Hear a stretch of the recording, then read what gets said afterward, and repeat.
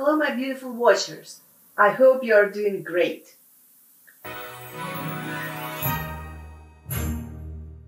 Milder weather at last.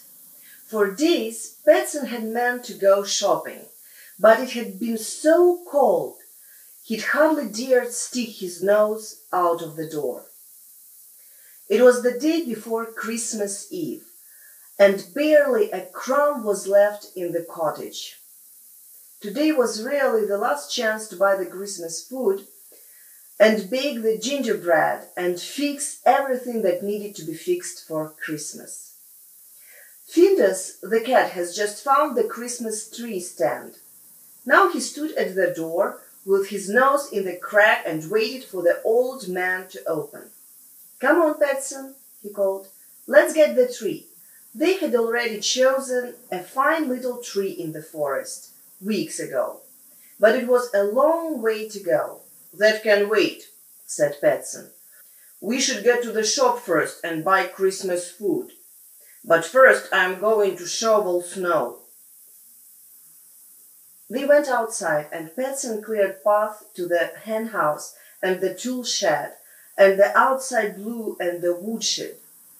We can gather some fir branches so to spread on the doorstep while we are at it, said the old man. You coming, Findus? If I get to ride. He was already at the woodshed where the axe and the sled were kept. With the cat in the tow, Pettson plodded up the hillside behind the tool shed. Here and there he cut some fir branches and laid them on the sled. When it was full, they turned to go back down again. But all of a sudden, Pettson slipped on a stone, the sled flew forward and hit the old man in the back of his knees so that he fell back on the branches. Gathering speed down the slope, the sledge hurtled straight into the stone wall and tipped over. The cat was thrilled and whooped. Again! But the old man didn't find it quite so amusing. Moaning and groaning, he struggled up out of the snow. Oh, he cried. I am hurt.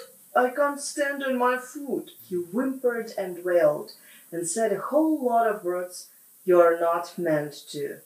The cat was dumbfounded. You mustn't swear the day before Christmas Eve, was all he could think of saying. Pettson managed to drag himself into the kitchen, where he sat down to examine his food. What rotten luck! I hope it gets better before closing time so we can buy our Christmas food, he sighed. And to think we had so much to do cut the tree and scrub the kitchen floor and. Yes, I'll do that, the cat yelled, and the blink of an eye he whipped out the mop, bucket, and brush.